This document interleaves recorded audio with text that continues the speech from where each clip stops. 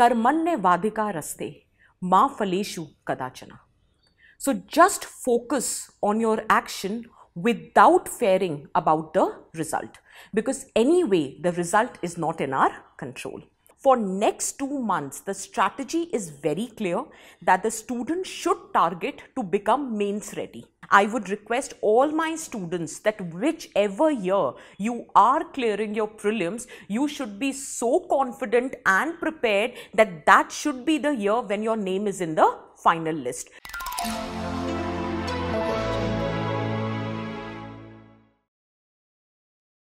Hello aspirants, hope you are doing well. I welcome you to another conversational session with Smriti Shah ma'am. She is renowned faculty in Vision IAS. Today we are going to discuss Mastering Mains 2024 specifically related to society and social justice. I welcome you ma'am. Hi Sunil, how are you? I'm doing well ma'am. Hope you're doing well too ma'am. Absolutely. So ma'am, now prelims is over and students have their subjective cutoff in their mind. Some are in the list, some are out the out of the list. And they are strategizing that what they do, what they should do next. So how will you suggest students, both who are in the uh, list and who are outside the list?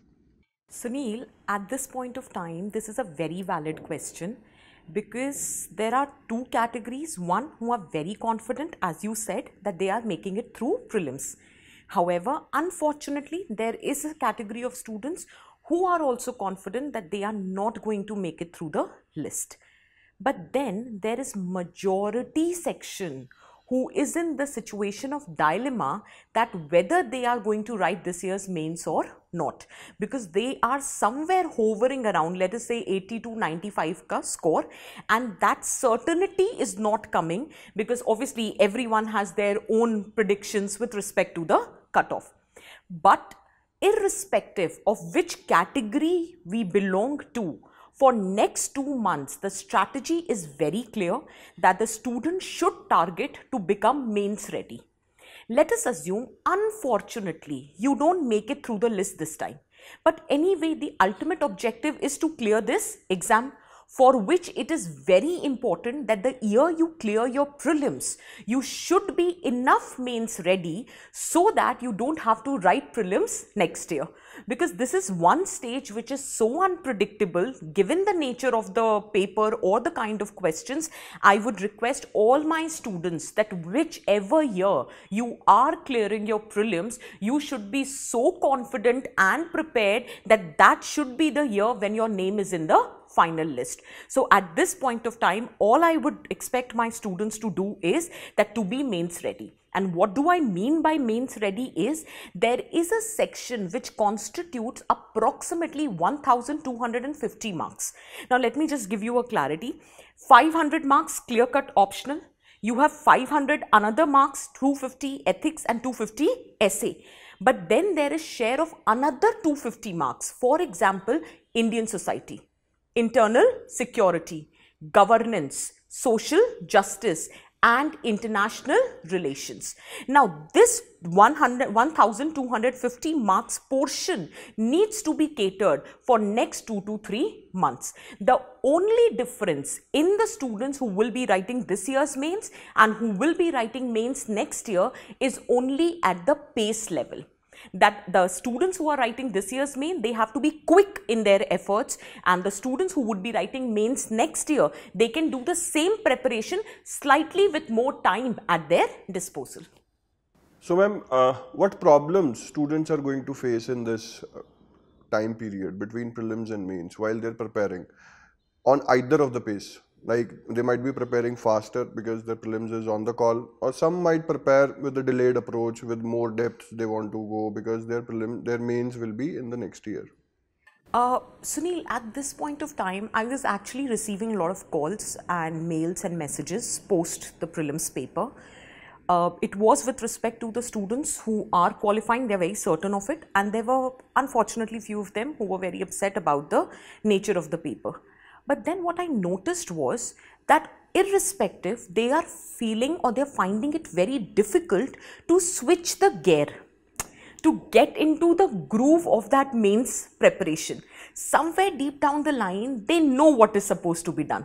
And ma'am, s- and students get exhausted also after prelims. They, they have read so much in the last two three months that they feel that कि इससे ज़्यादा थोड़ा rest ले लेते हैं, पढ़ नहीं पा रहे हैं। That mentality comes into this absolutely I totally agree in fact I was going to highlight this only and there is one more reason that I think students start preparing for prelims much before like let us say October, November. So for past seven, eight months, they are preparing in a certain specific manner. They are more focused on solving those MCQs. They are more focused on reading more content rather than active recalling and writing it down on the paper.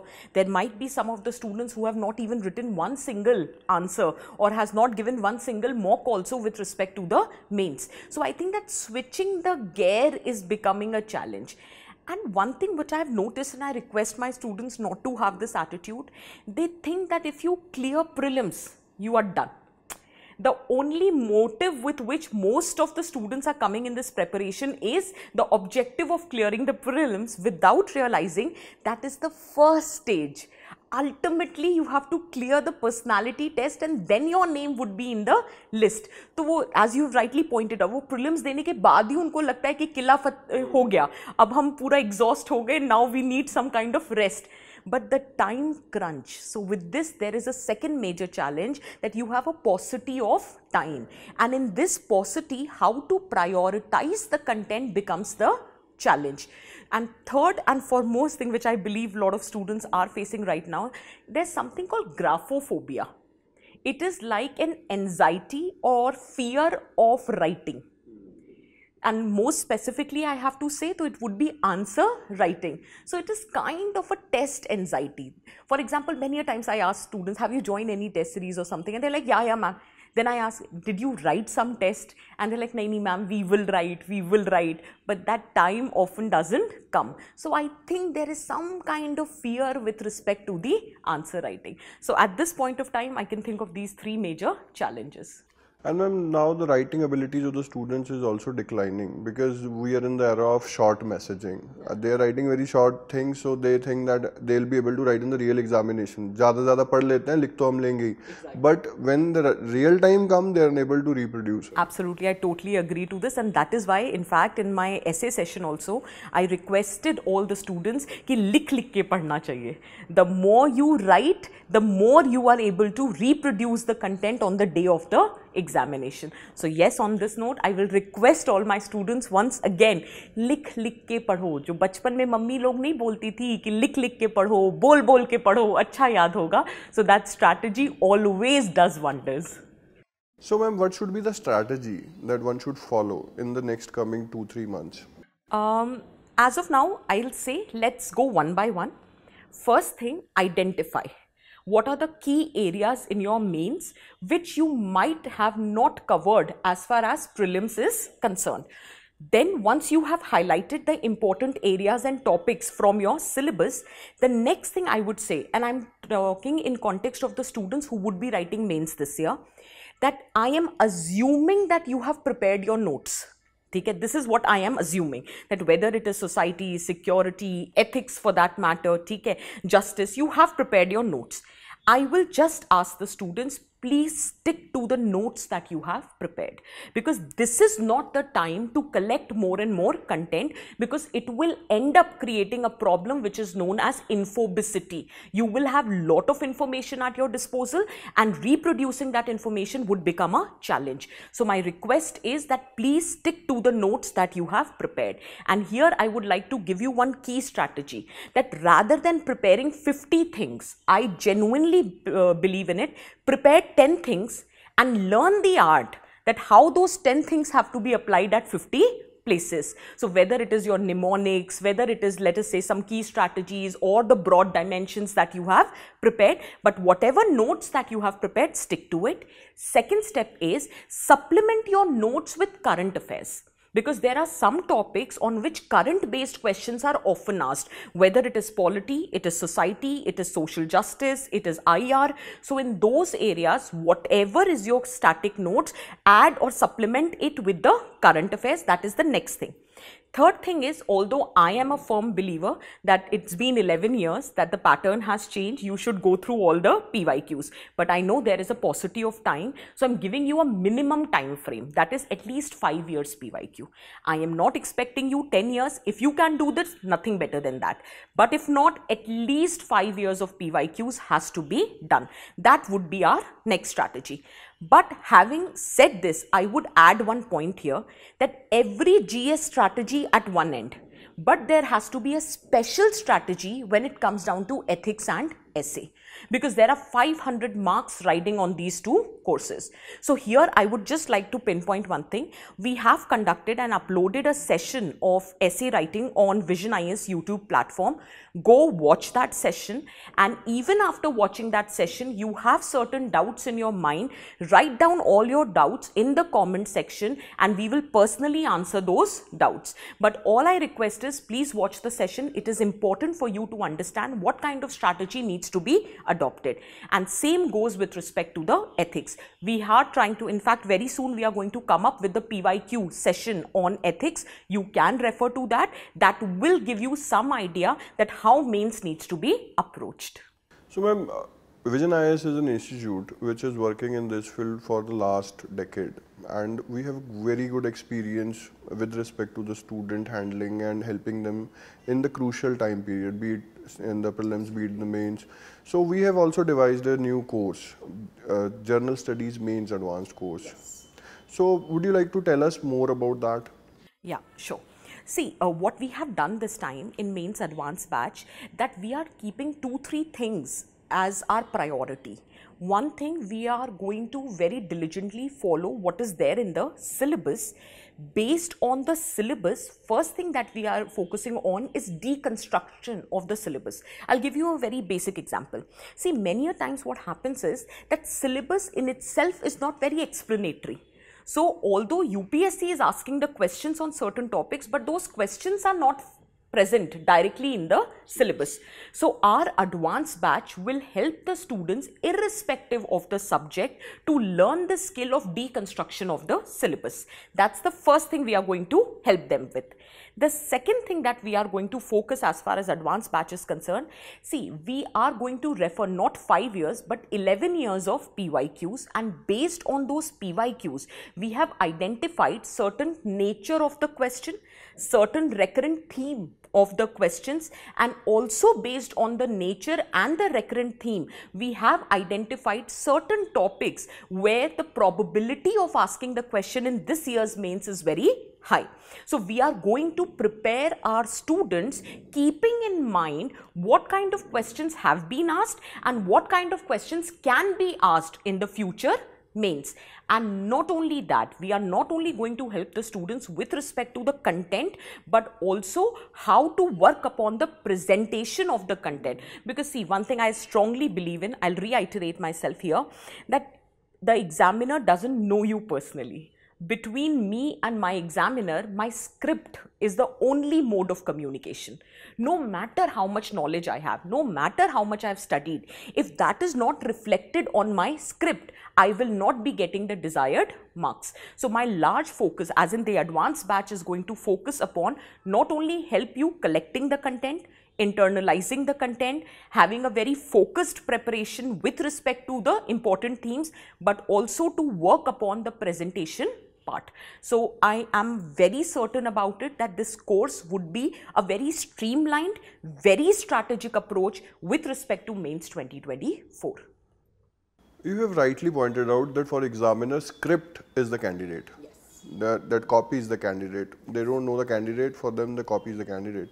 In this context, are we doing something related to answer writing, something related to script, uh, in uh, like presentation skill enhancement, something like that? Yes uh, Sunil, what we have planned is that once, let us suppose, I have given you a certain information about the topic which is important in nature. And after that, we'll give you certain questions. And you would be practicing those questions in two capacity. One would be the classroom practice and the other would be the self test assessment which later you can submit also and you will get a feedback on that also. That is one thing.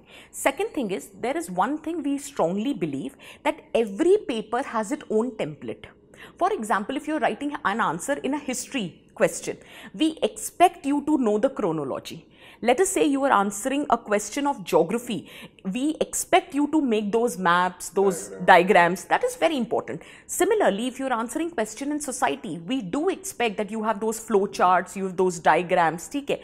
And if you are answering, let us say, question in polity. So, quoting your constitution, your articles, your judicial case laws, it is like sine qua non of this paper. So the point here is not only we are going to guide you with respect to the classroom environment of writing the test but also that different kind of templates which exist with respect to the different papers so that you understand the difference in the presentation with respect to GS paper 1, 2, 3 and 4.